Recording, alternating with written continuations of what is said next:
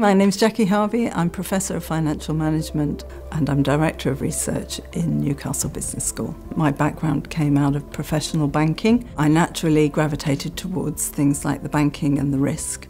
We're very active researchers in um, money laundering and corruption. We're working with um, colleagues in Nigeria through the, the, the, proposals that we're, we're looking at and the work that we're doing, hopefully making, um, coming up with proposals that will help the Nigerian authorities as they're trying to uh, recover some of those monies that they've lost from the economy through corruption. More recently, um, as my research developed, which has focused on criminal financial management, um, money laundering, corruption, one of the things that has been really exciting for me is to see the development of the Masters in Forensic Accounting, the cutting edge work that we are doing we're able to bring into the teaching and into the, um, the experiences that we're able to share with the students. One of the, the things I'm doing at the moment is supervising some of the students in their master's dissertation. One of the students is working on uh, corruption.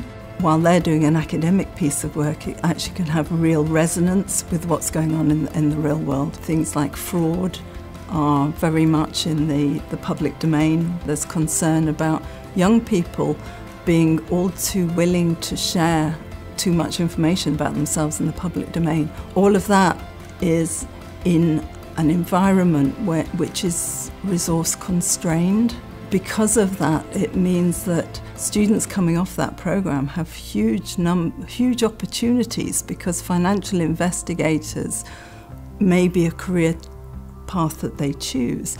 The students are actually engaging with and being taught by the academics that are producing the papers. You can be a student here and you're going to be reading outputs that are being um, published in good quality journals, in book chapters that are actually being authored by the same members of academic staff that are standing in front of them and engaging with them in seminars.